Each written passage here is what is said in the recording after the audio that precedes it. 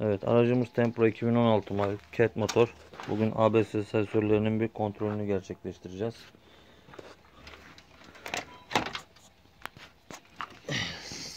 Sol tekerin ABS sensörü buradaki. Ön aletimin de propların uçları bozuk.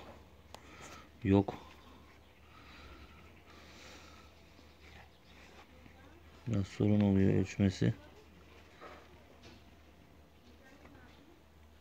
Evet 1.67 Bunun 75 80'e doğru yolları var.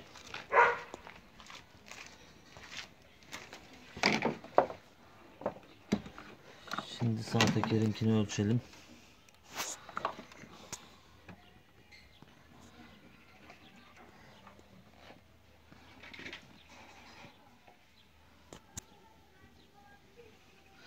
Evet bir değer vermiyor. Bu ABS sensörümüz arızalı. Şimdi arkadakilere bakalım.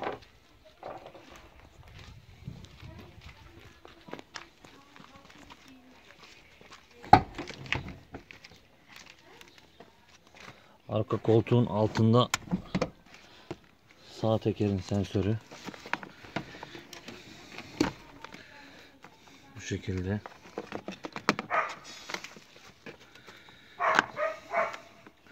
Bu ölçümleri yapmak kolay.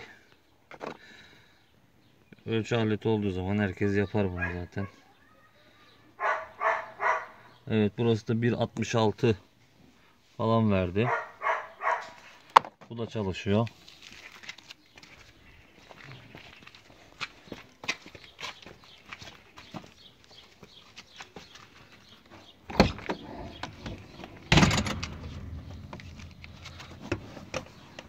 Bu da burada.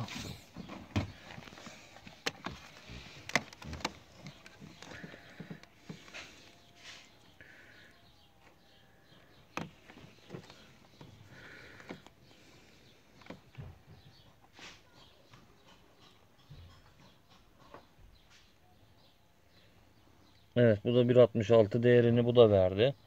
Yani ABS sensörümüz bu da çalışıyor. Bir tek çalışmayan sensörümüz o ön sağ tekerlek. Burada da ABS'nin beyni var. Kontrol beyni.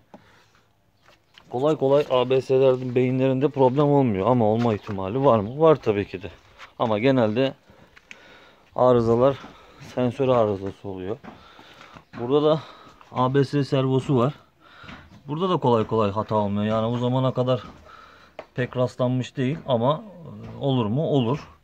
Genelde ABS'nin çalışmaması sensörler ve yanlış aksdan kaynaklanıyor.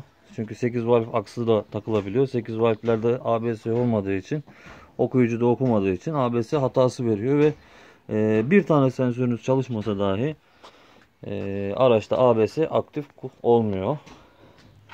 Bunları kontrol ettik mi bir problemimiz kalmaz.